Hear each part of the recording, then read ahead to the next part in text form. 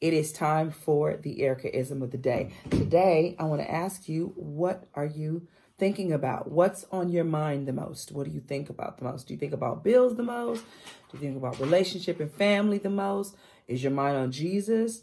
Um, do you stay in a place of joy? Where are your thoughts? Philippians 4 8 and 9 tells us what to think on. Think on these things. And then after it says, think on these things, that it tells you that that's the way to peace that's the way to being settled in your life. So when you're anxious and you're kind of all over the place, I think the first question you should ask yourself is what my what is my mind on? Now I know maybe you're going through things and there's a lot going on, but if you start to consume the problem and consume the issue, and really um not go despite what's going on i'm going to focus on what god said in, instead of what i feel and what i see.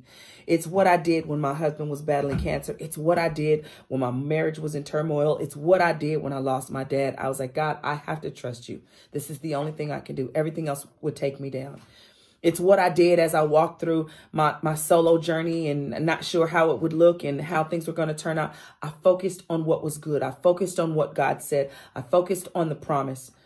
I tried to keep my joy and my faith in a good place. Listen, people, it's possible. I'm not minimizing whatever you're going through mental stuff, um, hurtful stuff, you know, trying to process and deal with the past because it is a process.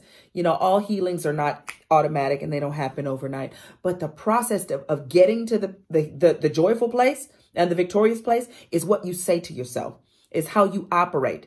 If you operate in a place of faith, how do you handle people while you're going through? Are you mean and obnoxious to everybody and your excuse is I'm going through? Then yes, you're still going to have a bit, some issues going on because you're not handling it God's way.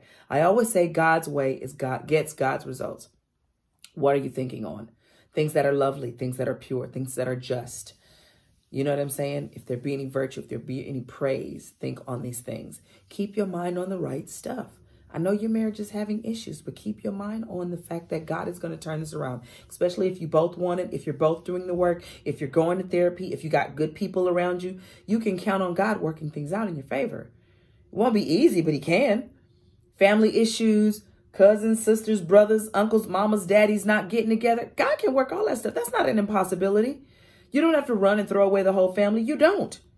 God can work it out. I'm telling you, he can. I've seen him do it in my own family in my own life. And so I'm only telling you because I've been there. And I understand that it's not easy and it's difficult, but you've got to stand on the word of God. You've got to fast and pray. You've got to get the negative things out of your mind. Don't have people around you that are just going to bring up the negative over and over. Stand on the word of God and rebuke the enemy. Stop fighting people and fight the enemy.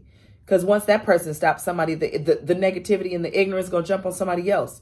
Recognize the tactics of the enemy. He wants to affect your mind and your thoughts so you don't see clearly, so you don't hear clearly, so you don't have knowledge and wisdom to operate through as you go through whatever you have to go through. Think on the things of God. Think on the word of God. Think visualize the victory. Visualize you having what you need. Visualize the relationship being right. Visualize the marriage being right. Visualize the great relationship with your kids. I'm telling you, it works. It's it's in the word. It's not my word. Use the word of God. That's what I'm telling you. What are you thinking about? Think on these things. Think on the word of God. That's Philippians 4, 8 through 9. Make sure you read it. And then read Colossians. Uh, oh gosh, I didn't write it down. Colossians, set your mind on things above and not on things beneath. That's the scripture I want you to focus on. All right, sorry about that, guys. Okay, that's my Ericaism for the day.